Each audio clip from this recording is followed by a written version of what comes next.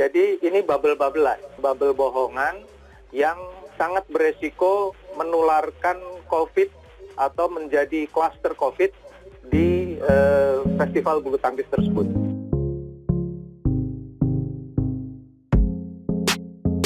Sahabat kece, dikutip dari indosport.com, pengamat olahraga Anton Sanjoyo menyebut sistem bubble yang dilakukan Festival Bulu Tangkis Indonesia atau IBF tidak standar.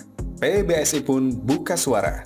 Dalam siaran langsung di Metro TV pada Jumat 11 Februari 2022 lalu, Anton Sanjoyo menyebut jika PBSI melakukan sistem bubble-bubblean atau bubble bohongan selama kegiatan. Hal ini adalah buntut dari maraknya kasus penyebaran virus corona atau COVID-19 di Bali yang menimpa sejumlah klub Liga 1 hingga timnas Indonesia batal ke Piala AFF U23. Menurut Anton Sanjoyo, walau menerapkan sistem bubble, penyelenggara PBSI membolehkan wartawan masuk lapangan padahal mereka menginap di hotel lain. Jadi, ini bubble-bubblean, bubble bohongan, sangat berisiko menularkan COVID-19 atau menjadi klaster baru di festival bulu tangkis tersebut. Ucap Anton. Tak pelak, Humas PP PBSI, Derry Destanto, langsung bereaksi dan memprotes ucapan Anton Sanjoyo melalui akun Twitter pribadinya. Saya sebagai bagian dari IBF Jelas tersinggung dengan adanya kalimat bubble-bubblean atau bubble bohongan, kata Derry Destanto pada Minggu 13 Februari.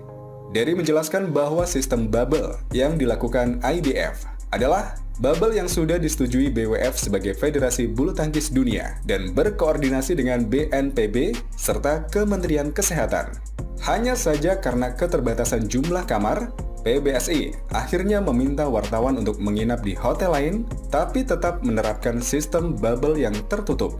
Benar, wartawan ditempatkan di hotel lain, tapi hotel tersebut juga menyiapkan wing khusus dan dijaga oleh security selama 24 jam, khusus untuk kami, ungkap Derry lagi. Dan merupakan extension bubble IBF, jadi istilahnya bubble to bubble. Jaraknya pun dekat, silakan cek Westin ke Ibis Benoa. Lanjut humas PBSI tersebut. Sebagai penutup, Derry Destanto mengaku jika ia tersinggung dengan ucapan Anton Sanjoyo yang membandingkan gelaran IBF dengan Liga 1 sebagai klaster COVID-19. Saya sebagai bagian dari IBF, saya jelas tersinggung dengan adanya kalimat bubble-bubblean atau bubble bohongan. Cetusnya, tak pas rasanya menghubung-hubungkan IBF dengan Liga 1 karena sekali lagi, Indonesia Badminton Festival itu nol case dan tidak menyebabkan klaster. Pungkas dari Destanto melalui akun Twitter pribadinya.